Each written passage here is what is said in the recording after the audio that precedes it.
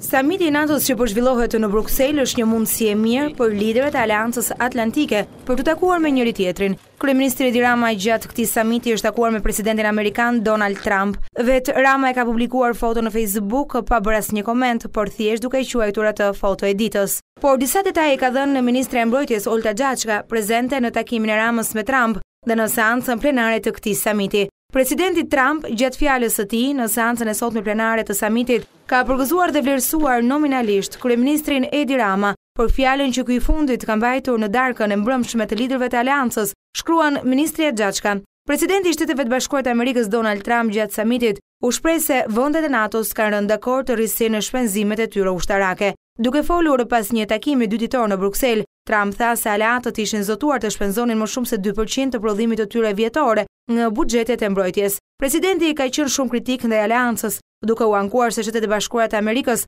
paguajnë më shumë sesa të tjerët. Pas takimit ai tha se besonte në NATO dhe se aktualisht ishte e panevojshme të merrte në konsideratë heqjen dorë nga aleanca. Trump i ka kërkuar më parë aleatëve të NATO-s që të angazhojnë të paktën katër për qind të prodhimit vjetor.